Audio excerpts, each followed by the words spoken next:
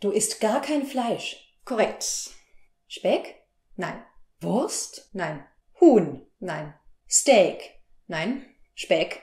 Immer noch nicht. Gulasch? Nein. Eier? Nein. Fisch? Nein. Käse? Nein. Joghurt? Nein. Speck? Glaubst du, ich merke das nicht? Shrimps? Nein. Leberkäse? Nein. Stelze? Nein. Speck? Und woher bekommst du dann deine Proteine? Bohnen.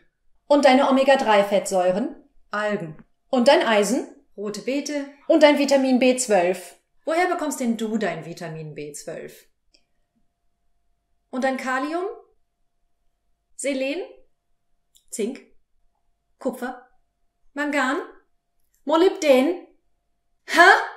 Fruchtzwerge?